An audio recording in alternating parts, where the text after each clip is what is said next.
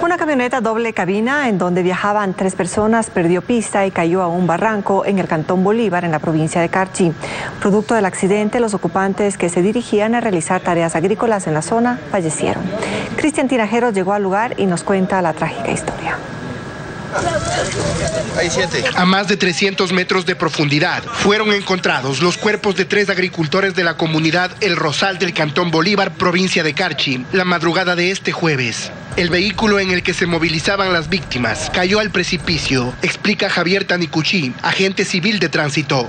Al momento en que se pierde pista el vehículo, eh, va rompiendo unas tuberías del agua pues de aquí de la comunidad de Caldera y al quedarse sin agua pues el, encargado del agua eh, se va a revisar todo lo que son las tuberías para encontrar la falla, ¿no? Pero se llevó una sorpresa al encontrar los cuerpos de sus vecinos y amigos en medio de la montaña. El accidente se habría producido a las 5 de la mañana de este miércoles.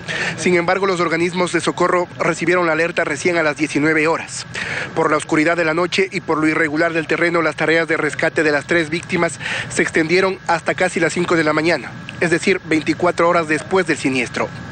Los familiares de los fallecidos permanecieron al filo del barranco durante horas, hasta que por fin los restos de sus seres queridos fueron rescatados por miembros de la Policía Nacional. Wilson Freire dice que perdió a su cuñado y a su sobrino en el accidente. Comenta que sus seres queridos se dirigían a una plantación de fréjol a fumigar. Y han estado bajando tipo las 5 y, se les ha ido los frenos del vehículo y, y se han ido para adentro.